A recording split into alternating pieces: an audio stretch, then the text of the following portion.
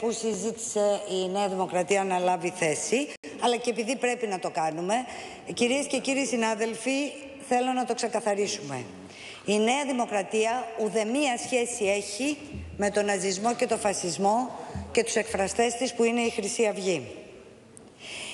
Η ευθύνη για ό,τι συνέβη σε σχέση με το περιστατικό του βίντεο είναι εντελώς ατομική ανελήφθη από τον γραμματέα της κυβέρνησης ο οποίος παρετήθηκε.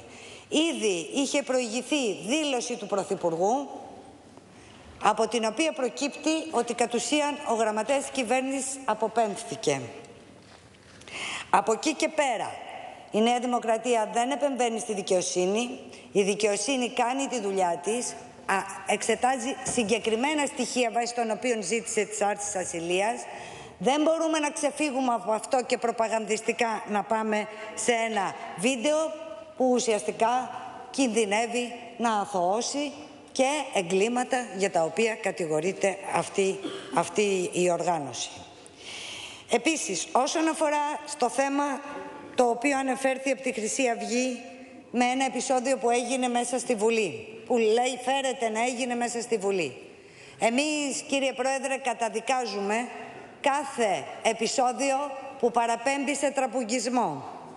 Όποιος συμπεριφέρεται τραμπούκικα θα τιμωρηθεί για αυτό το οποίο κάνει από τη δικαιοσύνη.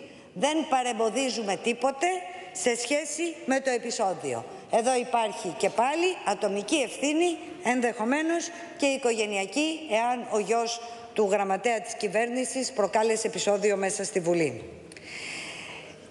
Τέλος, ε, κύριε Πρόεδρε, σήμερα το πρωί σε σχέση με αυτά, στην ουσία αυτών για τα οποία συζητούμε. Σήμερα το πρωί συνεδρίασε για πρώτη φορά για εκλογή Προεδρείου η Διακομματική Επιτροπή για την διεκδίκηση των γερμανικών